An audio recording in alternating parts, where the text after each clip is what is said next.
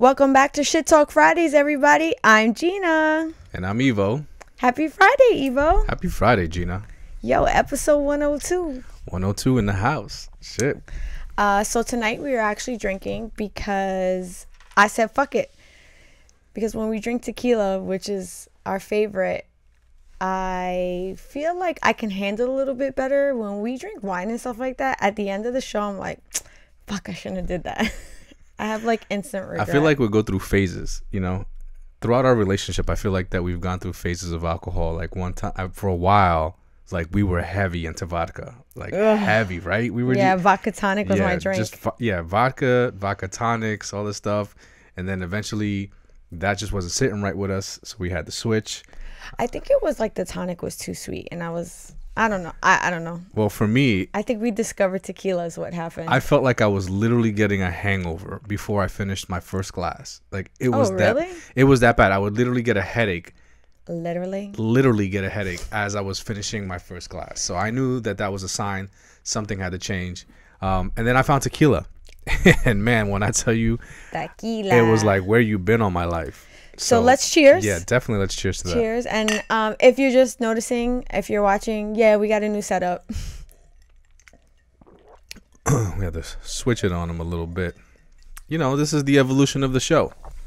Yeah, So- that's actually a lot stronger than I remember it being, and it's because I haven't drank in so long. Ah, it tastes great to me. It does. It still does taste great. It just um, and this is añejo, right? Yeah, the always añejo. añejo. I can't remember if it's añejo or reposado, because aren't they both dark? Yeah, so the reposado is a little on the lighter side. The añejo is the When you say lighter, you mean color? in color, yeah, and the Okay. añejo is the uh, the darker one. Yeah, So I the- always forget. That's why I always forget because I but because I know that silver is clear. Yeah, the añejo is aged more, so it, takes more color of the of the barrel Oh, and the it's oak. a little bit more expensive. yes, a little bit more expensive. Okay, so let's get into our topic for tonight. Um, this is a topic that is all over social media, and it is what do you bring to the table? Well, I brought tequila. I don't know what you brought to the table. How about I brought the fucking table? but you know what? And that is something that is said often.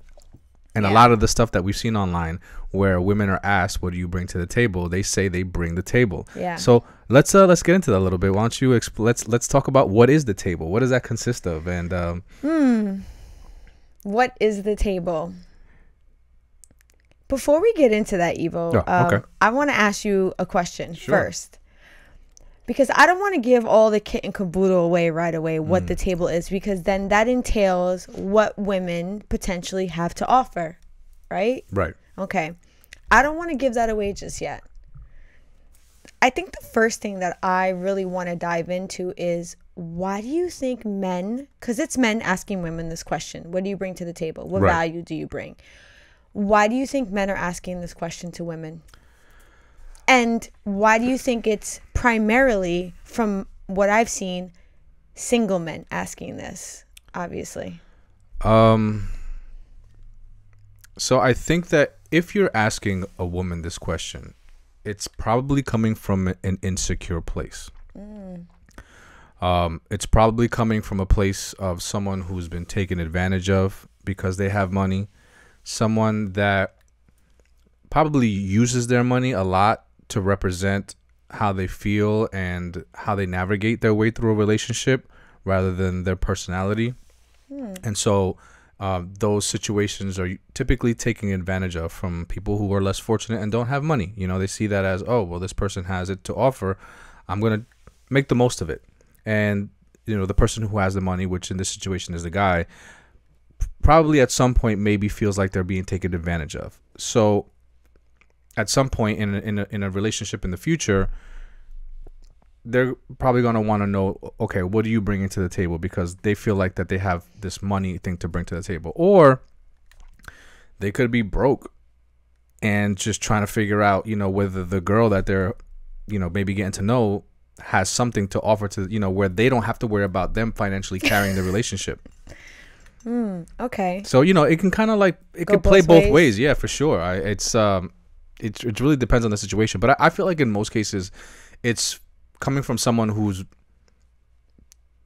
like just using money to like navigate through their relationships, and they probably been, you know they get taken advantage of at some point. So, just to kind of unpack what you're saying, you feel like when it comes to the money, it can be on both ends, whether they have money and they don't want to get taken advantage of, or they don't have money and they don't want to be looked at as the primary source of finances when it comes to the relationship. Yeah, they don't. They want to like kind of get it out in the open to, to you know and figure out whether they're gonna have to be the one carrying the financial burden of the relationship, or does the person that they're talking to, whether it's a guy or a girl, has something to bring to the table. Okay. You know, maybe maybe they're looking for someone to kind of maybe take advantage of a little bit. You know, maybe they're trying to figure out it, does this situation benefit me because I need someone that has a little bit more financially stable, a little bit more financially stable than I am, Hmm. and so that they're looking for that situation so that they can benefit from it. So, in essence, they're kind of looking to potentially manipulate the person. You know, I don't want to say manipulate. You know, some people just have these requirements that they need in a person that they're dating. That might be one of them for that person. You know, maybe they're not they're not in a position where they can just not have to worry about money in a relationship. So they have to make sure that the person that they're with mm-hmm. has some money to bring to the table so that the financial responsibility of carrying the relationship doesn't solely fall on them.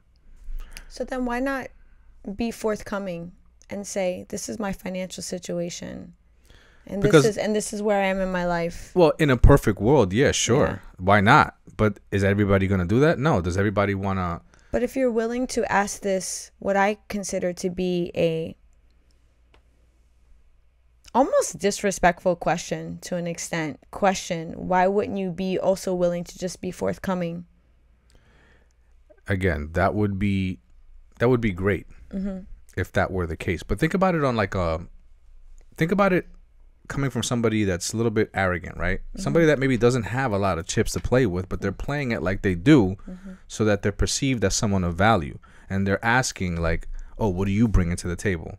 Trying to get this information out of that person as if that person needs to be forthcoming now because I'm because I'm, I'm gonna I'm gonna take the position of the person that's asking, right? Mm-hmm. So like let's just say I, I'm I ask, you know, conversation, you know, we're dating, whatever, and then I just come out and say like, you know, so in this, you know, if this if this relationship, you know, goes any further, like, what are you bringing to the table?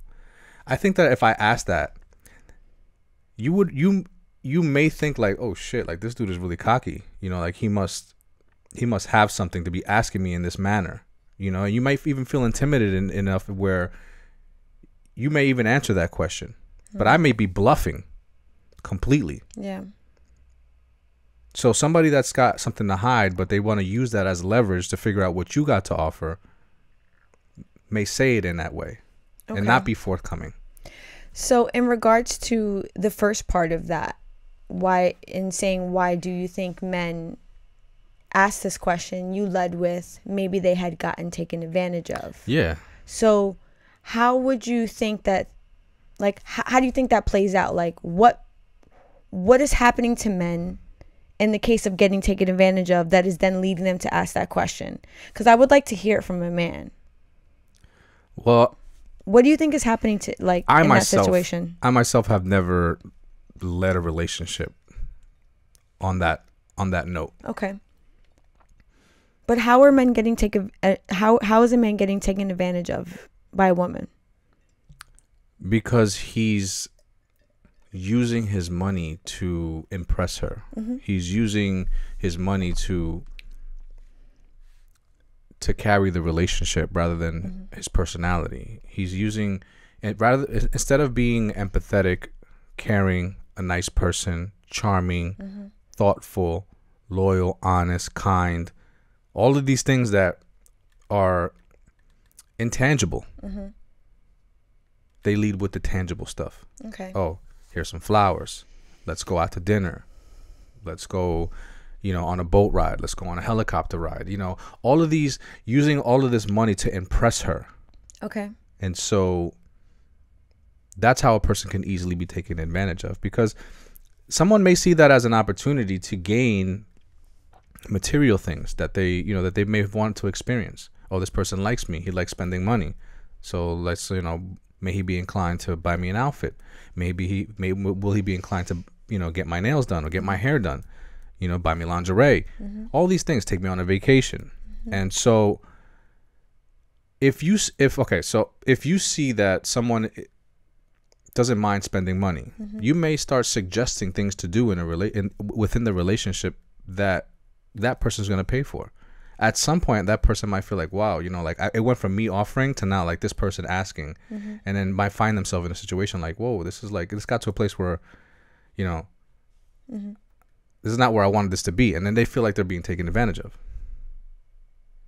I find that whole statement so confusing because you're what you said is for a person to get taken advantage of would mean that they are almost unknowing to what is happening to them. Uh. Okay. Would you agree? Yeah. Okay. So in that regard, how is it the man is getting taken advantage of if if he led with these are my assets. This is how I'm going to impress you. And then the woman or the man in turn then says, "Okay, great. This is cool. Would you also like to purchase this for me?" How is that getting taken like how is because that that's that's imposing. So then the person is now imposing on the man, right? so, but doesn't for for her benefit. sure. So that's to her advantage. Okay. So, but that's not taking advantage of the man because, in that same regard, the man has the ability to say no. You're right. He does. Yeah, absolutely. And I think that at some point it it ends it ends, right? I think at some point he does put his foot down. Okay. And I feel like that that's the reason why Mm-hmm. moving forward that conversation comes about, right? It's an experience like that, right? Mm-hmm. That all of a sudden makes that person feel like, all right, moving forward, I need to know what this person brings to the table before I even do anything. And then that's how that conversation kind of comes about. So, I think it's interesting that in that situation, let's say a man walks away from that and says, I'm not going to let that happen to me anymore. Right? I'm not going to let a woman take advantage of me. But the next woman that I meet, I'm going to do the same exact thing that I did before, showing my assets, displaying my assets, but I'm going to ask her what she brings to the table. In my honest opinion, to me, that sounds like the definition of insanity. If you're going to keep doing the same thing and expecting different results, aren't you a little bit crazy? Why not change your approach in how you date a woman? Yeah, sure. I mean, listen, I'm speaking I'm speaking from a perspective that I don't even know of. Like I've never I've never had this conversation with Yeah. a woman. I've never Why do you think you've never had this conversation with a woman before? because it's just not something that I look for in a woman. I don't want to know what she brings to the table. I don't like I, I want to know does she have intangible things to bring to the table? Things that I can't buy with money. Hmm. Those are the things that are valuable to me. But that's just me. You know, I want to know is she, you know, again, I just I'm going to repeat what I said. I want to know if she, if she's funny, if she's kind, if she's if she's loyal, if she's if she's honest. Um, is she a good person? Does she is she empathetic? Like these are things that are not easily found in a person. So I'm more curious to know: Do you possess those things inside of you rather than what you possess in your bank account? Um, what do you bring to the table? Mm-hmm. Like I feel like the only sign that they're compatible with is a dollar sign, and that's just real talk. You heard it here on Shit Talk. That's just real talk. You know, like I don't know what it is that compatibility that they're looking for because you're not looking for anything within a person if you're asking what they bring to the table. That actually brings me to a point that I wanted to talk about. Something that I think ties into this what do you bring to the table conversation. So, if anyone is familiar, there's a show on Netflix called Indian Matchmaker and this Oh, is like a this is like a guilty pleasure Yeah, of it was a good show. yeah, so it started off being something that I watched um, amongst my girlfriends. We were all talking about it. And then one day, while I had the show on, Ivo kind of did the what are you watching thing. And then before I knew it, we were watching it together. Yeah. And then we devoured season two. Yeah, it was. Uh, it was. It was definitely something you like. I did. Like I literally, like got hooked instantly. Yeah. so it's because like i said it's a guilty pleasure it's like one of those you know it's like garbage tv but at the same time it's it's it's like a novella you get fucking caught up in it so that being said in the show what i found to be really interesting about this what do you bring to the table conversation is um the person that does the matchmaking has this kind of system where when they meet the person that's looking to be match made with they have this thing that they call a biodata. And the biodata is the person that's looking to date will break down the criteria or, you know, kind of like the preferences of what they're looking for in a potential partner. And I want to say, out of 99% of the people on the show, they all listed things that what Ivo and I are calling tangible things, such as money, education, status, a good career, um, really embedded into their culture. Physically fit. Oh yeah, Works wow! out. I I Yeah. totally forgot about that. Physically fit, works out, likes to do things outdoors. All of these things that on paper they looked amazing. You would think that it would literally give you a prince charming or a princess. Right. And what wind up happening the majority of the time was when these people were match made with someone that met, I want to say like almost like 80% of their bio data, there was like almost never a connection. Yeah, you're right. There wasn't because they were looking for nub in all the wrong places. because they were looking for this person to look good in a way that is like what is considered what are you bringing to the table conversation these very you ta- have? Yeah, like what do you have to offer me? yeah what do you have to offer me and then what wind up happening is with a lot of the people on the show was some of them found people outside of the matchmaking uh, scenario and when they did when the lady that was doing the matchmaking would follow up with them and say okay great tell me about this person. Like what was it about them that you made this connection? And I want to tell you that all of the people on the show would say the same fucking thing. Oh, just like the way that they made me feel. And there was just like this connection. There was this spark between us. None of them talked about the money. None of them talked about the careers. None of them talked about how fit they were.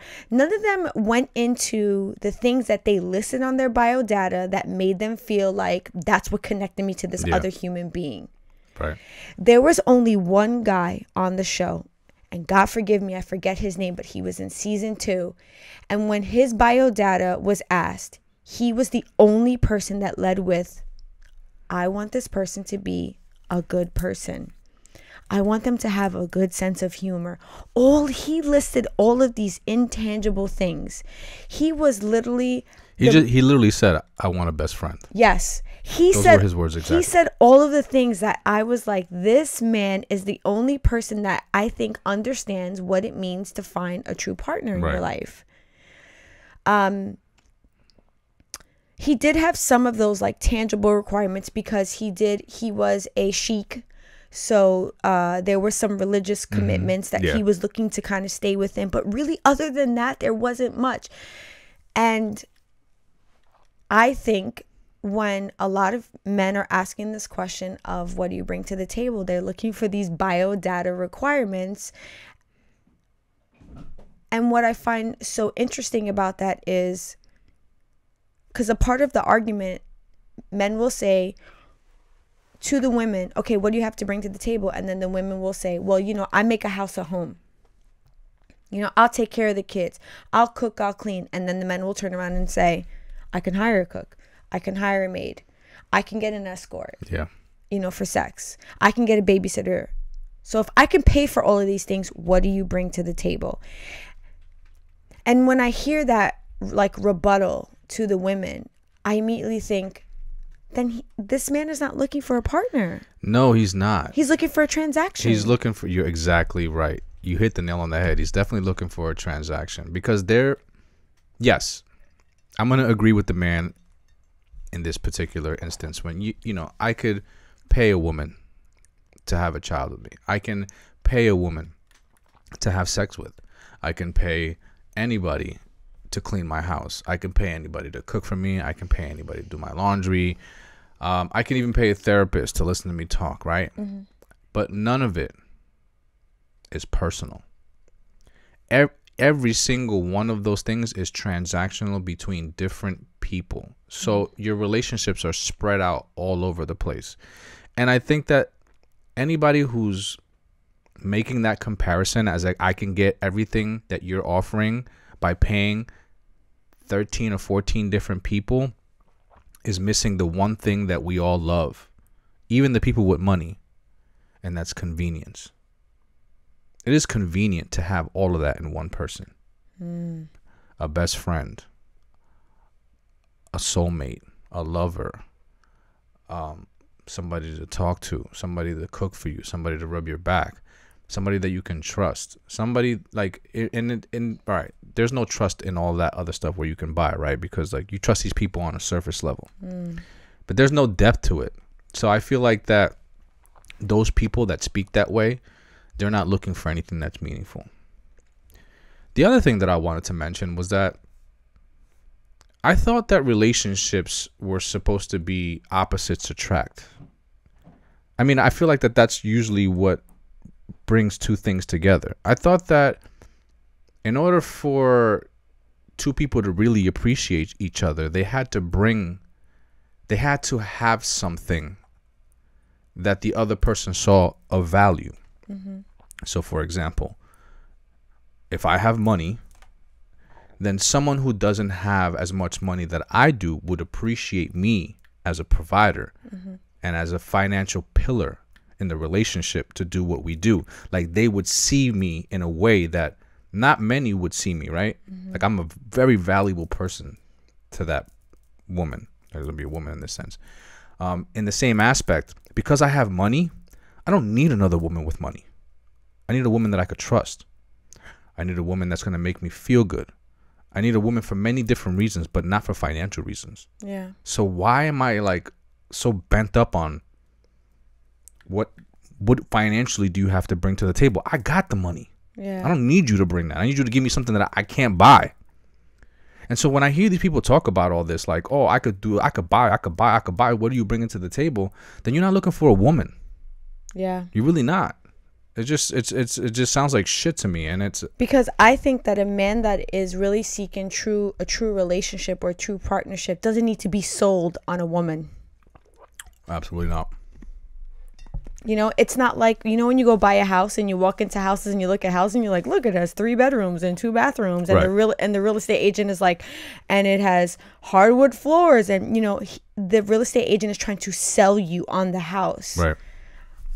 Because you are looking for certain features within that house. I think when a man sees a woman or a woman sees a man, if they are truly interested, they don't need to be sold on that person. Yeah. It doesn't have to be presented to them in a way where it's almost like they're looking to make a purchase. Yeah. And for anybody who asked the question, right? What do you bring to the table? Just know that whatever that person brings to the table, as long as they're bringing whatever they have, they're bringing 100%. And I think that's all that matters, right? I don't think I think that it's important that the person that you're with is putting everything that they have into the relationship. Mm. You don't want to be with somebody that has a bunch of stuff that they're not bringing into the relationship because they have money. You want to be with somebody who's all in, regardless of what they have. Yeah. You know what I'm saying? Like this is what I got. I'm investing everything into what into you, and to mm-hmm. me, that's more valuable than a Porsche or or a house or whatever.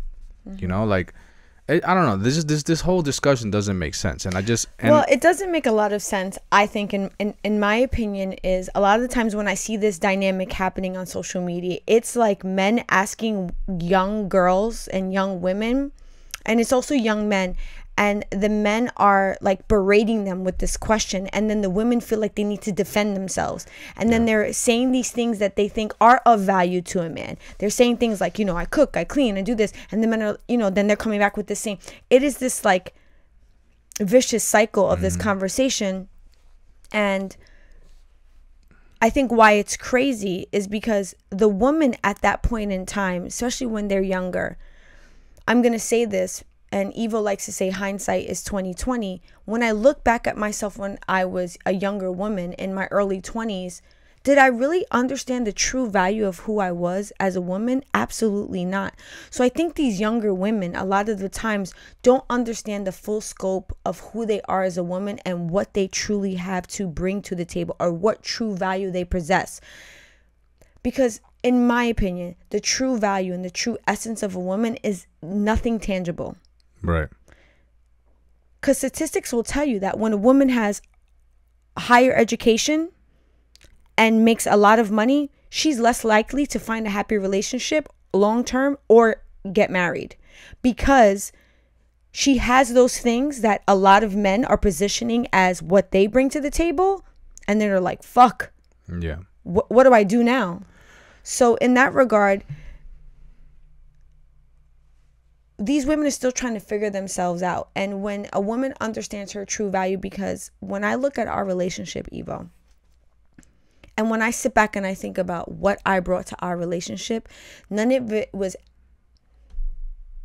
there was really nothing that I can reflect upon that I maybe gave you financially or something that um, was of like a tangible product or fucking asset that I gave that made our relationship evolve to the point that it is now. When I reflect upon our relationship, I think about the things that I was able to provide for you that really brought us to where we are now 20 years later are things like support. And, you know, what's that saying? Behind every strong man is a strong woman. And I think that is in essence who we are. There have been many moments in our relationship where you needed a little push and I was that person to give it to you. Yeah, absolutely. I think that's that's and and vice versa. yeah, that's that's definitely um you know an asset to have in a relationship. Um, I just want to say this right. So to any of you younger women out there that may find yourself in a position where um anybody, a man or another woman, is asking you what do you bring to the table, do yourself a favor.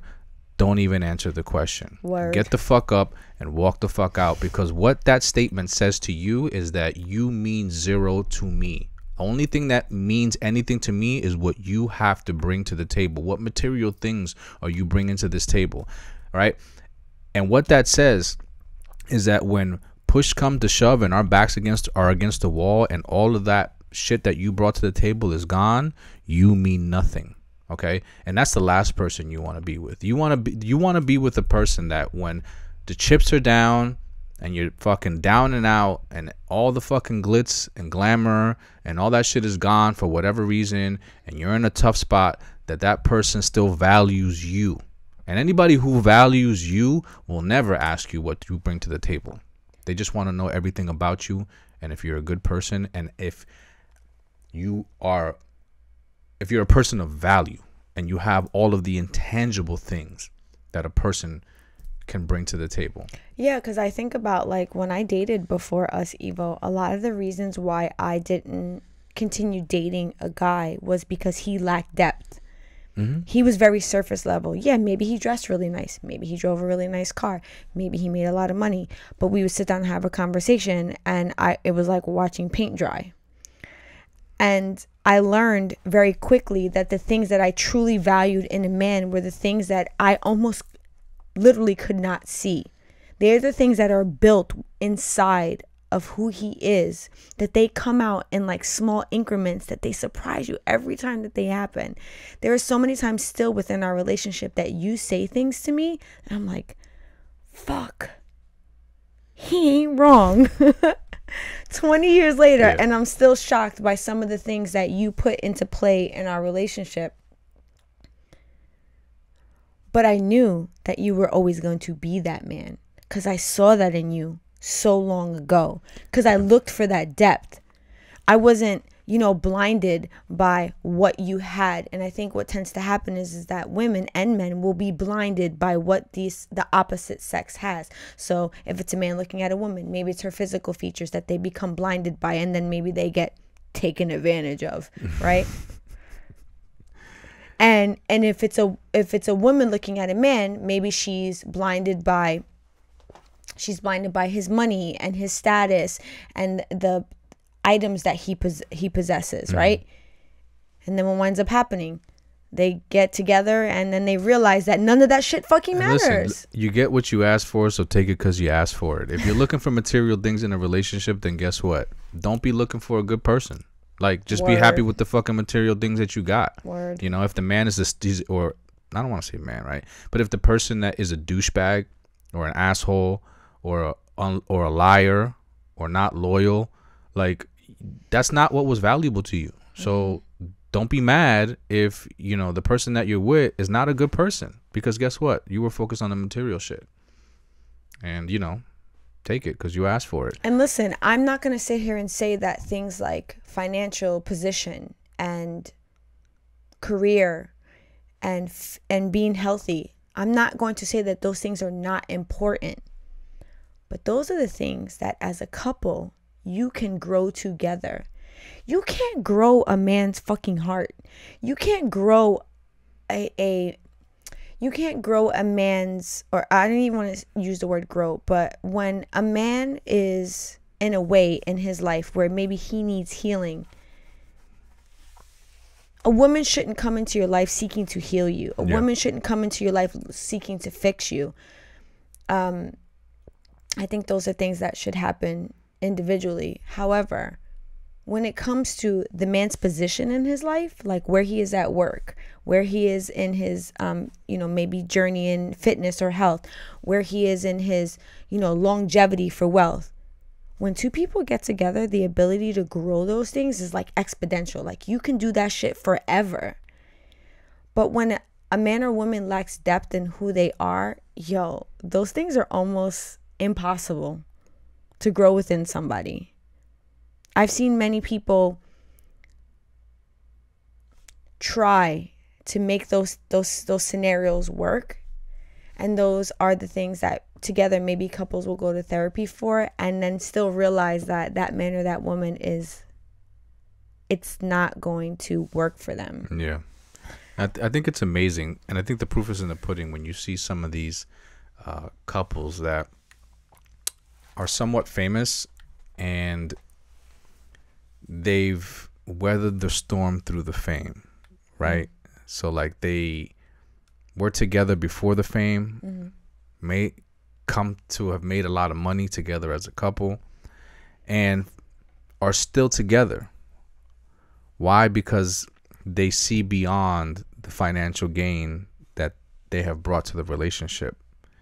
You know, and I feel like that people it's it's amazing, right? You'll see some some of these people that with all the options that they have, right? Mm-hmm. That money brings, right? As far as like people that are very attractive and things like that. You see that their partner is a very average looking person. Mm-hmm. Why? Because they were there from the start. They see that person for who they are. And they see beyond the money. And those type of relationships are the ones that are forged in what's what's really valuable in a relationship. Such a forged in fire, Just forged in fire. and I feel how like they that's how they make Yeah. fucking steel I feel blades. like you know, and the thing is, I feel like every relationship should start that way, right? I feel like every rich person should meet someone and not disclose any of their financial status, and truly get to have the person get to know them for who they are, Yeah. and see if they really like them. Because at the end of the day, listen, money's gonna solve money problems, and that's it. But if you got personal problems, you got issues, you got traumas and shit like that, like you know, after being with somebody who's who has a lot of money, you you could end up very unhappy, very depressed, with a lot of money. yeah. You know, and there's some people that say, yeah, I would rather be you know depressed and rich than be depressed and broke. Okay, yeah, fine, sure, no, but at the end of the day, happiness is is part of your sanity. You know, Well, happiness is a choice. With joy, happiness, living that right. Yeah. It's it's it, it it's intertwined with, Because you, we are with your not sanity. rich and I'm fucking happy. Yes, exactly. But for somebody who seeks like who has like this drive to be, you know, financially at the top 1%. Yeah. You know, you know if that's the main focus, then they may get there, but they may end up being very unhappy with the, with the person that they're with. Yeah. I just want the women that are either watching or listening to us to really take a moment to reflect upon your true value as a woman. Never let a man ever allow you to question yourself of what your value is. Because please understand that your value is not rooted in material things. It is not you, the ability that you have to go into a relationship and be the caretaker. It is not the ability that you have to go into a relationship and cook them hot meals. It's not the ability that you have to go into a relationship and fucking keep a house clean. Those are the true those are not the things that are going to truly make you valuable as a woman. Think about the things that you and your friends, your girlfriends, love about each other. Your girlfriends don't love you because you cook them fucking hot meals. I mean, maybe they do. But a lot of the times when I think about me and my friends, I think about the times that we fucking laugh together and we have a good time together and we got each other's back. Think about those things when you want to consider what your true what your true value is. I have a friend that I've been friends with for over 30 years and that's one of the things that I love about her so much and I love about our relationship is the fact that when we come into each other's space, we fucking laugh and we have a good time. She's not looking at me and I'm not looking at her like, "Bitch, you got money?" Yeah. Because in order to be my friend for the next 30 years, that's what you got to have.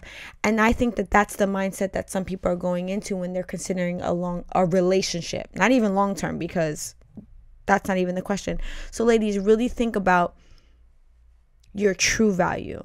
And that takes a lot of self reflection and that takes some self awareness. And like I said earlier, I didn't necessarily have that when I was younger. It took some time for me to really think about who the fuck is Jeanna?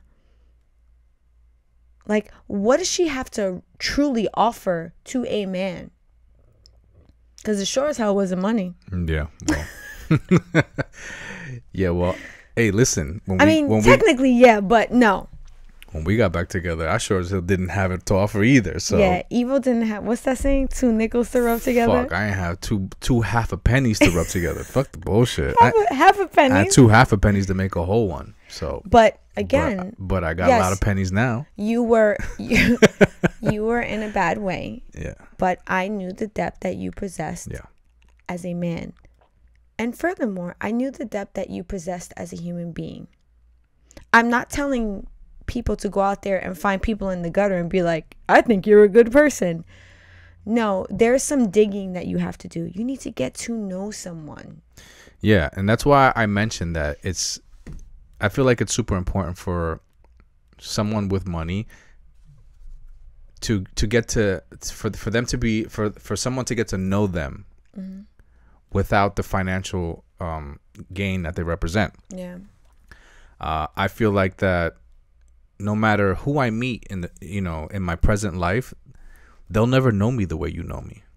Yeah. You know because you know we're we're you know we're, we're very well off now. You know. Um, I don't but, know what Ivo's talking about. But we weren't at one point. you know what I'm saying? And yeah, we're doing okay. We're doing we're definitely doing I, okay. I don't. Uh, but I can neither confirm nor deny. At one point, you know, we weren't. You know. Oh my God, we were sleeping on a futon. Yeah, we were sleeping on a futon. Him and, and I and, on a futon. In a little as well, we were sleeping on a futon in a basement. Apartment. In a basement apartment. That in a bedroom that I converted. That no, in is, a in a living room. Oh, it was yeah, so a living room that, that converted, converted to a, a bedroom. bedroom. right? So you yeah. didn't you didn't even have a living room, but that futon, that bed, when it folded up into the futon, it turned into, into the living, living room, room, which was crazy. Yeah, and my dresser that I had in the living room was actually covered with something that made it look like it was just like a like a um, like a I don't know, like, like a like, an, like some sort of decoration, like an entertainment center yeah, type that, of. Like went to the fucking living yeah, room. Yeah, No, but it was my dresser. Yeah, I mean, listen, the bathroom the tile in the bathroom had a hole in it with duct tape on that shit. Sure did. So when I tell you that we are up from the 36 we, chambers. Yeah, we came up from humble begin, you know, humble beginnings. But I think that that created an opportunity for us to really get to know each other as people without any financial gain, mm-hmm. you know? Um, and so moving forward, no matter who I meet in the future, no one will ever know me the way you do. Yeah and I think that's important. I, and I, I and I feel like getting to know each other without having money as something that is uh, an incentive to want to be part of that relationship really creates uh, a relationship that isn't like no other. Yeah. I do think it's important to say a couple of things. If you go out there and you're a man or a woman and you go out there and you're busting your ass to get a great education, to have a great job, to make really good money, of course you're going to want someone that meets you at what you consider your level. But don't let that blind you to some of the amazing people that are out there that what Ivo and I are trying to say that can give you some of these really untangible things, these things that are considered priceless, um, things that when the two of you are behind closed doors, that you're gonna say, without you, I don't know where I would be, type shit. Yeah. And Agreed. money in a car and a house, none of that is gonna do that for you. The other thing is, um, I would love for that question to be flipped. So instead of saying, What do you bring to the table? When that person is asked that question, what if the person being asked that question turned around and said, What would you like me to bring to the table? What is it that you are looking for to be brought to the I table? I think that's a valid question. Because I actually think that the person asking that question has no fucking clue what it is that they want to be brought to the fucking table. They just want the opportunity to shoot that person down and be like, no, you're no good. And like we said at the beginning of the show, that is rooted in something. I feel like that those people just want to be worshipped. Oh, that's disgusting. It's just what it sounds like. They just want to they want to they want to they want to paint the picture of you don't have what I have. I have something that's way more valuable than anything that you have to offer. So Yeah. therefore you need to worship me for it. And that That's gross. by no means is any relationship that anybody should ever want to be in. So Yeah. like I said, Agreed. if you're ever asked that question, don't even fucking don't Yo, even get give up. the person About the face. pleasure of answering that fucking question. Leave I them agree. fucking hanging I agree. like the douchebag that they are. Yo, that's a perfect way to end this episode. Douchebag, peace the fuck out. Peace out. Um, so yeah, that actually brings us to the end of this episode, and um, I like this new setup. Yeah, I like it too. It's interesting. Let us know what you think in the comments. Do Yeah. you like it? Do you want us to go back to the other setup? I'm really enjoying this. I like it because I'm a little closer to you. Ain't nothing wrong with And that. like, I'm no- not mad at that. Nobody knows what I'm doing underneath the table. know, we'll be down. when you see the hands going to the table, you just know that something's going on. yeah. Um. So yeah, I enjoyed this episode. I always enjoy talking to you. Likewise, it's always a pleasure. And again, I've probably said this the last three episodes. Jeanna had to peel her life. Yes, you did. today. Yo, applause to you for coming No. for showing up for real. Because honestly, you know, A bitch be a bitch be tired. But um every time I do it, it's it's kind of like how I feel when, when I work out. I really sometimes have to like take a pre-workout, have some inner talk, push myself, and then when I'm done, I walk away and I'm like, man, that was really good. I really enjoyed that. I always feel like that Yeah. at the end of an episode. So, if you at home enjoy Ivo and nice conversation, and our numbers will say that you do, we would hope that we can continue to be here for you. So go ahead and like, subscribe, share our content, comment, leave a review, whatever it is that you feel like you can do to continue to help us to be here for you. We kind of take it in all forms and it's free, and yeah, and there's a Don't- don't donate. cost you nothing. there's a donate link too if you Oh, feel if like it- doing a good deed. right? If you want to, that's what you bring to the table. Yeah, what you bring into the what you, are you bringing donations to the table. You know what's so funny about this episode? The fact that we started off episode 102 calling it "What do you bring to the table?" and we started off yeah, we have a new table. we We've brought the table. table. Uh, what are you bringing? Yeah. Anyway, with that being said, ladies and gentlemen, until next Friday, peace out. Peace out.